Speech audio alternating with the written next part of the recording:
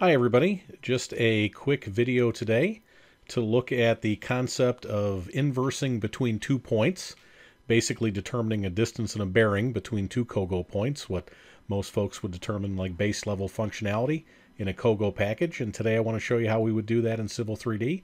There's actually a couple different ways we can do it. Uh, the first way we're going to look at is through some inquiry tools. And what I'm starting with is a drawing that already contains a number of points.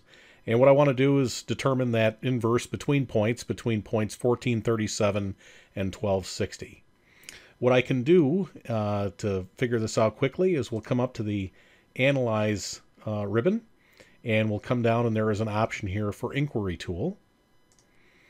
And when we select that, we can drill down, and then there are a number of different inquiries that we can perform, specifically being point inverse in our particular case. So we'll go ahead and select point inverse. And we can type in the first number here. If we do 1437, we'll hit enter. It populates that. I can also grab the ellipsis here such that we can select the other one off the screen. So we'll select point 1260. It automatically populates that. We'll see the other information for those two objects in our uh, um, inquiry tool. And if I scroll down, it should be giving me a bearing and a distance down here. Sometimes it doesn't show that. I've got my screen compressed so that it fits a little bit easier with the resolution. Let me go ahead and just dock this window. And now if we scroll down, we can see our uh, direction and horizontal distance. As a matter of fact, once that's been docked, I can actually move that back up and then uh, it'll continue to maintain that. So as we uh, select our points to inverse between those two points, it shows a graphical line on the screen for our um, convenience to be able to see what we're using. If we'd like to change that, maybe instead we'll go 1438 to 1260, updates on the screen, and then it continues to give us our direction and our horizontal distance. All right. Um, in addition to that, there are a couple other ways that we can do it. Um, we'll look at doing it through the survey database. In this case, we're just dealing with COGO points. Um, in some cases, these may be survey points if we're leveraging a survey database. So let's uh, put these points in a survey database so we can see how we could do it there as well. Let's go ahead and uh, import some survey data. We'll create a new database here. We'll call it uh, Tuesday. And uh, won't worry about the settings for right now. And then my source, I can select a number of different sources when uh, importing survey data. We'll just do points from my drawing, select points from the current drawing, and then I'm just going to tell the system we'll grab all of them for right now. So it's going to grab all my points, move those into my survey database. The key, his, key here is we're going to want to put them in a network.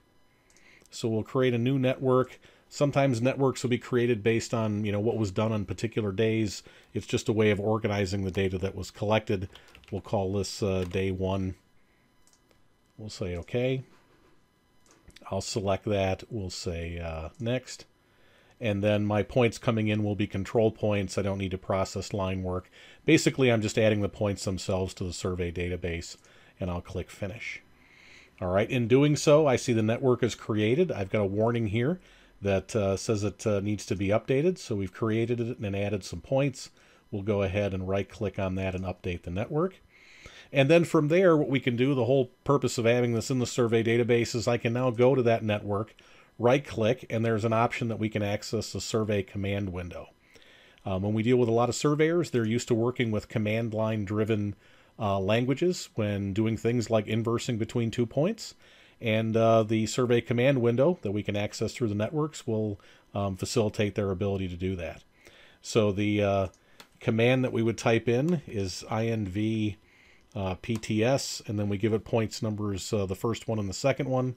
So that was points 1437 and 1260. And when I hit enter, it'll automatically compute that, give us our distance and our, uh, our bearing. At the same time, if we don't want to have everything totally command line where we're typing it in, I do have the ability through some of the drop downs that I can perform a similar operation uh, inverse between points. And I could say in this case, maybe uh, 1438 and 1260 and we'll say OK. All right.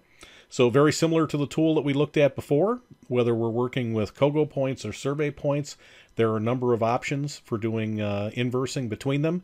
Or in other words, determining the bearing and the distance between two of those points. Um, probably the most convenient one is using the inquiry tools we looked at initially. However, if you're someone who is more um, uh, used to working with a command line driven interface, the survey command window within the survey database and dealing with a network gives you the option that you can inverse points that way as well. So, um, once once again, like I said, this is a base um, COGO functionality that a lot of folks are always asking about. Specifically, how do I inverse points or inverse between two points using Civil 3D? And we've looked at several ways that we can accomplish that. So I hope this helps, and I look forward to talking to you again soon. See ya.